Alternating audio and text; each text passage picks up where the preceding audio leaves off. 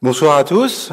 Est-ce qu'il y en a parmi vous qui font du scrapping Ah, quand même.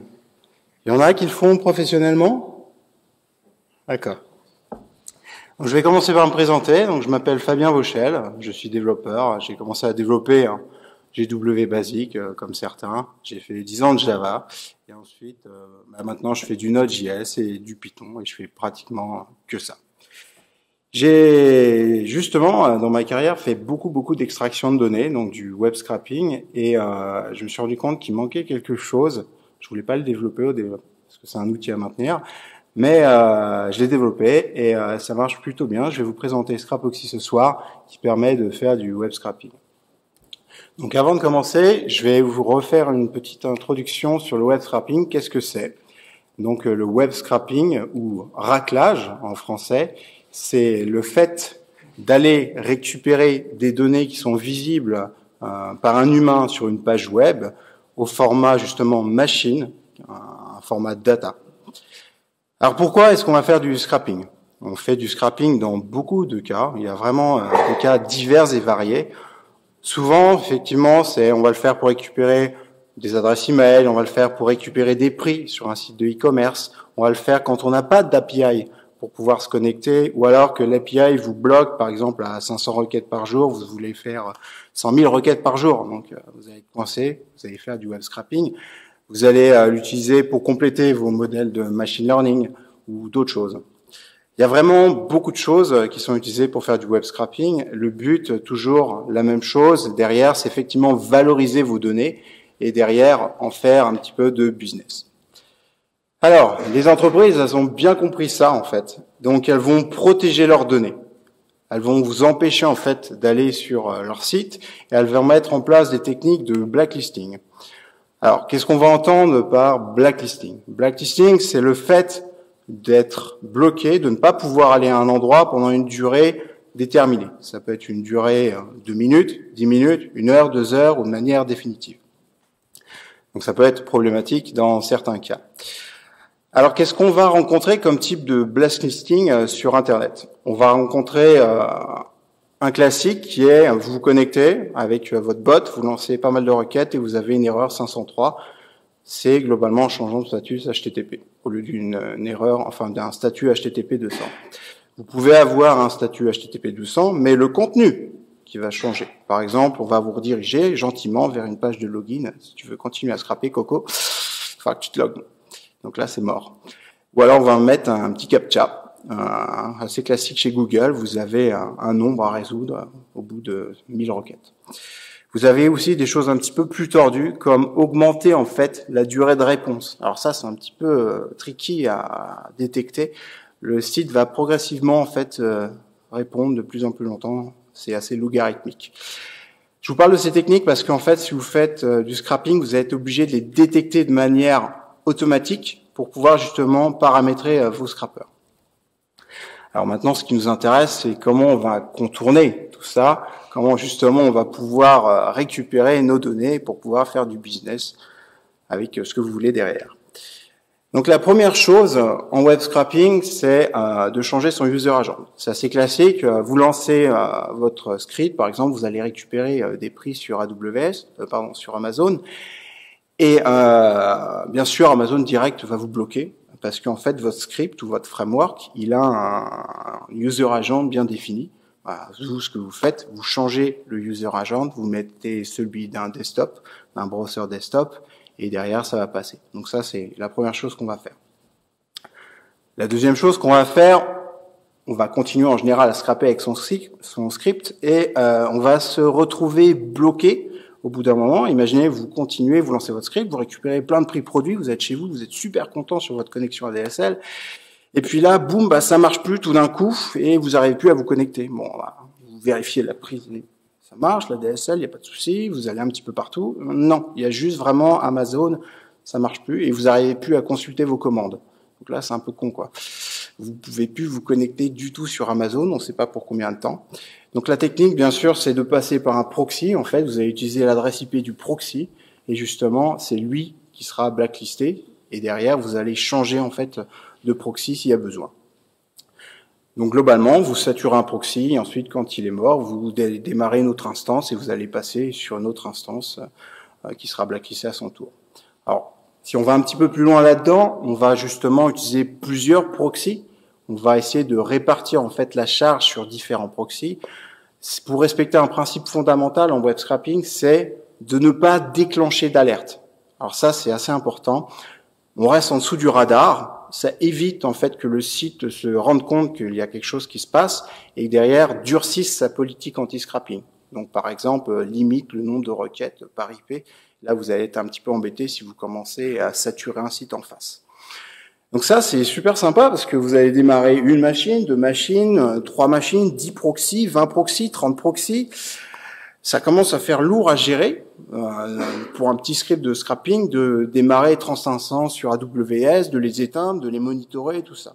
Donc c'est là où je me suis dit bah il y a quelque chose à faire, euh, ça manque, il y a un outil à faire, donc j'ai développé Scrapoxy. Et justement Scrapoxy va d'abord balancer en fait toutes les requêtes sur différentes instances et en plus il va s'occuper d'aller démarrer les instances sur les différents providers cloud. Donc il va les démarrer sur OVH, il va les démarrer sur AWS, il va les démarrer sur DigitalOcean. En plus, ce qu'il va faire, c'est qu'il va les redémarrer de temps en temps, c'est-à-dire que toutes les 10 minutes, euh, il allume, il éteint l'instance, globalement, l'adresse IP, elle change. Il va gérer aussi tout ce qui est partie blacklisting euh, au fur et à mesure.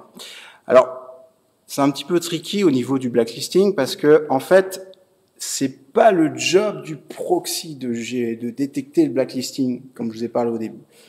Quand vous allez sur un site, vous allez par exemple sur euh, Amazon, vous allez aussi sur LinkedIn ou Meetup, ils ont chacun leur manière de, de vous blacklister ou de, de détourner ou d'arrêter le web scrapping. Comme je l'ai dit, il y a plusieurs types. Et donc c'est le job en fait du scrapper, parce que le proxy il est générique, il va se brancher sur l'architecture, peu importe, et derrière euh, c'est au scrapper lui, d'aller voir en fonction du cas, euh, est-ce que je me suis fait des blacklistés ou pas. Par contre, ce qui est important, c'est en fait de pouvoir dire au proxy, bah attention, la requête, elle est passée par cette instance-là, moi cette instance-là, je la veux plus dans le pool. Tu me la dégages, voilà. Donc en fait, dans Scrapoxy, il y a la possibilité d'utiliser l'API, le scrapper, quand il va détecter qu'il y a une requête bah, qui est vérolée, qui qui s'est fait blacklister, ce qu'il va faire, il va aller dire à Scrapoxy, voilà, cette IP, bah, cette instance, tu la dégages, tu m'en mets une autre. Donc c'est à peu près comme ça que ça va se passer avec Scrapoxy. Alors je vais rentrer un petit peu plus en détail, histoire de, de comprendre comment il est fait. Donc Scrapoxy, il est en Node.js. Donc l'avantage, c'est que ça tourne très très vite avec du Node.js, hein, toute la partie mono-threadée.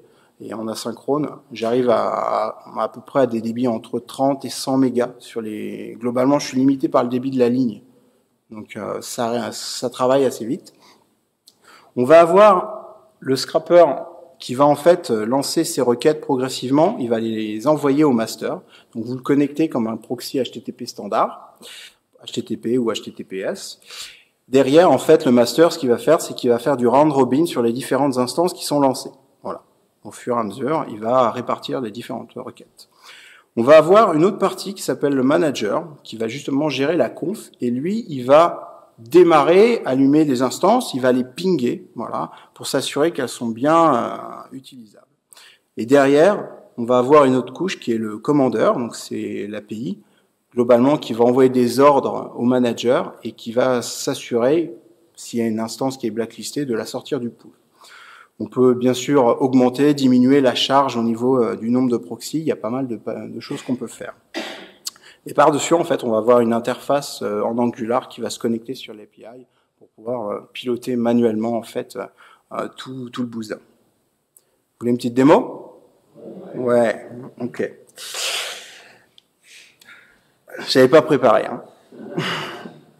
Donc, bien sûr, pour ne pas scraper un site connu, j'ai fait un petit script, enfin un site de profil.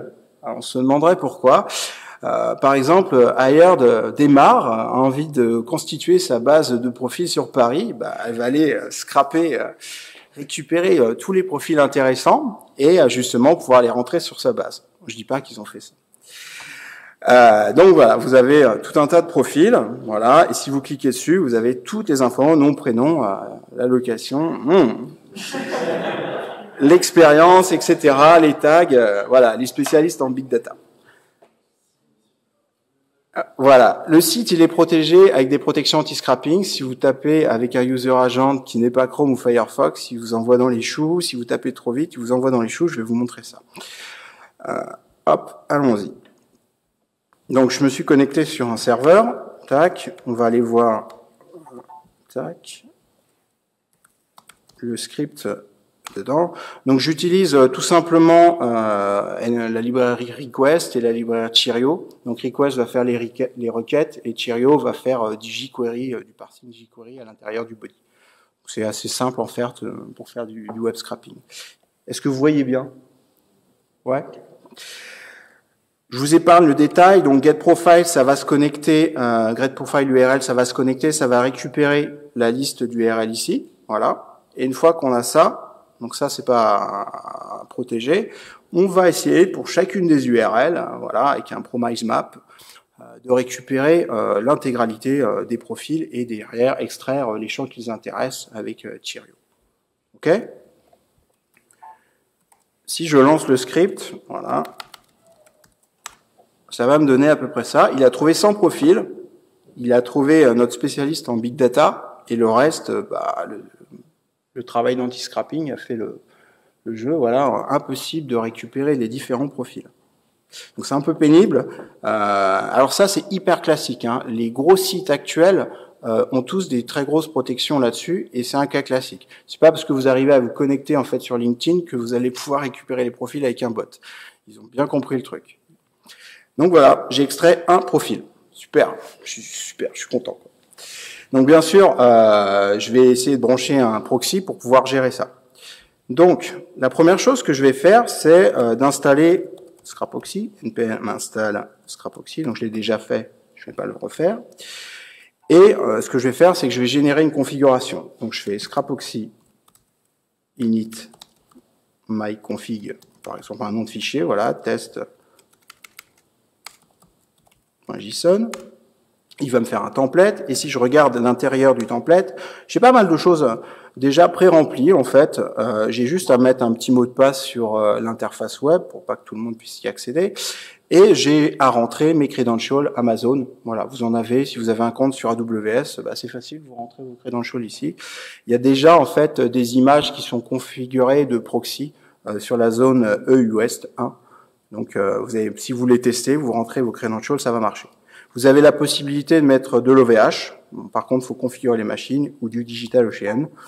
Ce qui est bien avec OVH et Digital Ocean, c'est que c'est pas beaucoup blacklisté. Voilà, les Américains connaissent pas trop OVH, euh, en tout cas pour le, le, blacklisting. Donc ça passe plutôt bien pour l'instant. Voilà, on verra pour l'avenir. Alors j'ai une, une, autre conf où j'ai déjà rentré mes, mes credentials. C'est pas que je vous fais pas confiance, mais je suis sûr qu'il y en a qui vont prendre des photos. Voilà. Et pour démarrer, j'ai juste à faire scrapoxy start, ma config voilà qui est remplie et euh, j'ai du Digital Ocean dessus. Voilà, il me le dit, voilà, je pars euh, sur du Digital Ocean. La prochaine version, elle est multi-provider, en fait, on pourra lancer sur plein de providers en même temps, et plein de zones en même temps. L'interface, elle est sur cette URL, et j'ai juste à brancher, en fait, mon proxy là-dessus. Si je regarde, en fait, sur l'interface, qu'est-ce qui se passe? Voilà, je me connecte sur l'interface. Donc là, j'ai pas mal d'informations. Euh, je vais avoir le scaling. Donc là, euh, j'ai demandé 10 machines. Donc j'ai 10 machines a priori euh, qui devraient arriver. Ah voilà, sont arrivées. je peux changer en live en fait le scaling. Ça, ça va me donner comment dire, plus de machines. Ça va dépendre en fait de votre compte, des limites que vous avez. Vous avez juste à appeler, par exemple, AWS, vous leur dire, bah, moi j'aimerais bien avoir une limite à 100 machines. Bah, ils vous montreraient une limite à 100 machines. Je crois qu'il y a 20 machines par défaut. Et vous retrouvez plein d'informations comme euh, l'état, par exemple le provider, là c'est Digital Ocean, euh, la machine, il y a une petite flèche vers le haut, elle est en train de se démarrer, il y a l'adresse IP, il y a euh, le numéro, voilà, il y a tout un tas d'informations. Donc là, en, avec du Socket.io, en fait, euh, je vais avoir les informations en temps réel sur euh, sur euh, sur mon cloud. Et là, j'ai des machines qui sont presque prêtes. Donc, elles sont prêtes, mais le proxy à l'intérieur est pas encore prêt. Il vous le dira en fait quand ça va passer en vert. Donc maintenant, et derrière, effectivement, j'aurai pas mal de machines. Alors, ce que je vais faire, c'est que maintenant, je vais brancher mon petit script. Donc, pour brancher mon script, hop, tac, je reviens là-dessus. Et globalement, avec request, vous avez juste un paramètre, c'est dans la doc, vous mettez proxy. La subtilité, c'est juste qu'il faut mettre l'option tunnel à false. Donc ça, c'est dans la doc de Scrapoxy, si vous avez une interrogation. Ça permet de faire passer du HTTPS. Il y a un petit trick pour faire passer du HTTPS, parce que Scrapoxy, en fait, va vous gérer le user agent. Vous n'avez pas besoin de le changer. Hop, je mets ça, je lance mon scrapping, et a priori, là, ça passe. Voilà. Donc là, j'ai contourné en fait toute la protection anti-scrapping. Si je regarde un petit peu euh, ce que j'ai en fait, là je peux, ah j'ai envie de dégager une instance, ah yep, je la dégage, ça me plaît pas celle-là. Euh, voilà, j'ai pas mal d'informations en fait sur ce qui va se passer. Euh, et là, j'ai les, les, requêtes en live en fait. J'ai le nombre de requêtes qui va qui se passe. Donc là, a priori, mon scrapping est terminé. J'ai le volume, donc c'est à partir de ça en fait que je peux dire je vais taper du 30 mégaoctets seconde, du 100 mégaoctets seconde, et que je peux effectivement charger un site. Et j'ai le volume total. Plus j'ai pas mal d'autres informations en fait qui permettent de dimensionner le nombre de machines, parce que c'est bête, mais euh, ça se calcule en fait le nombre de machines que vous allez mettre en face. Voilà. Donc si je regarde effectivement, bah c'est passé. Je l'ai branché en 5 minutes.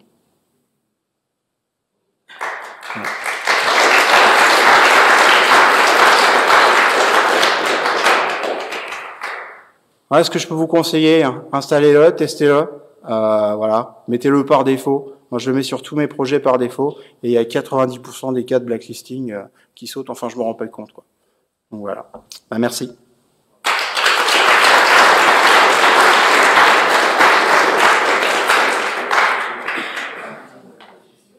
Est-ce que vous avez des questions?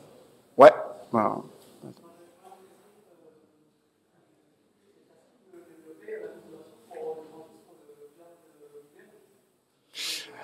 Ça dépend en fait. Euh, par exemple, là, je suis en train de regarder pour le mettre sur Azure. Alors, il y a des paramètres euh, tout bêtes. C'est combien de temps le cloud met pour démarrer une machine. Au-delà de 3 minutes, ça n'a pas d'intérêt. Sinon, c'est un peu long. Euh, après, effectivement, euh, c'est sur l'App Engine, c'est ça? J'ai pas. Pourquoi pas? Il, suffit en fait que l'API, elle est, elle puisse gérer arrêt, démarrage, tout simplement voilà, et qu'on puisse récupérer euh, l'adresse IP et quelques informations. effectivement, là, ouais, on peut, on peut rajouter pas mal d'infrastructures.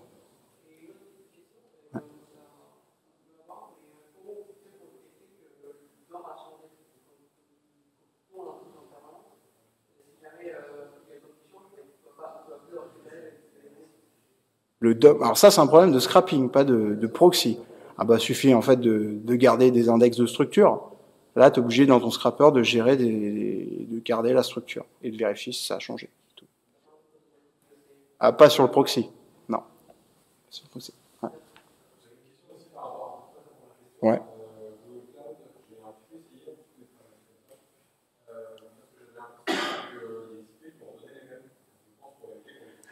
Alors ça, c'est problématique. Ouais.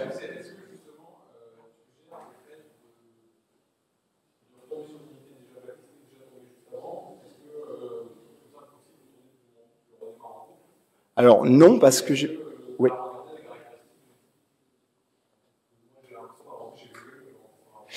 Euh...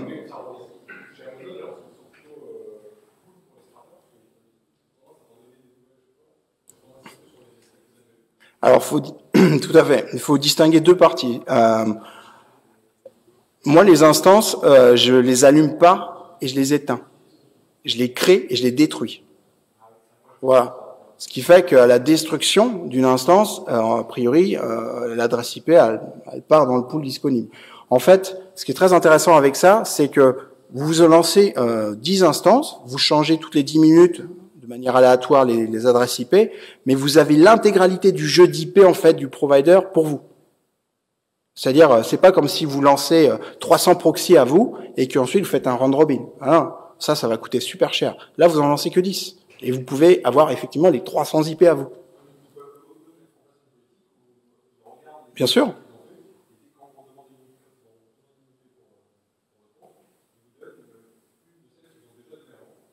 Donc, faut pas utiliser ce, oui.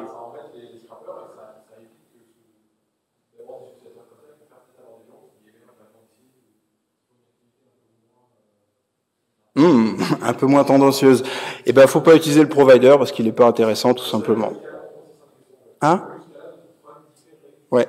Non, non, ça, ça en fait, euh, c'est plus quand on va développer euh, la partie pour cette API, euh, pour ce cloud, euh, vérifier que le provider il change bien ses IP. Après, si s'il le fait pas ou s'il met des protections, ça sert à rien de l'utiliser. Voilà, c'est pas la peine. Il y, en a beaucoup des providers, donc euh, pas la peine de se focaliser sur un en fait qui, qui met des, des, des comment dire des blocages comme ça.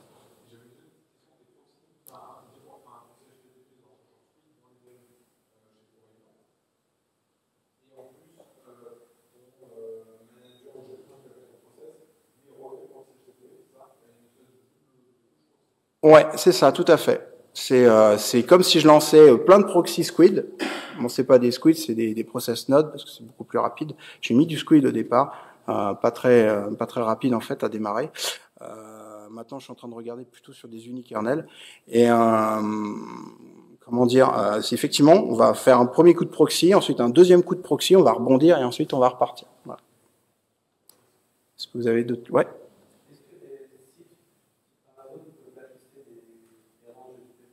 Oui, tout à fait.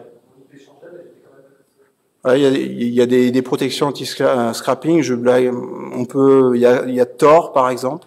Après, c'est pas pas très malin de blacklister un range d'IP quand on. Alors là, on est plus sur de l'anti-scrapping.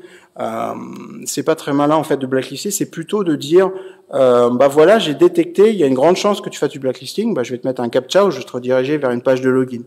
Voilà. Ça n'a pas un intérêt de blacklister quelqu'un en fait. Il suffit de le renvoyer sur un login, ça suffira en fait. Ouais.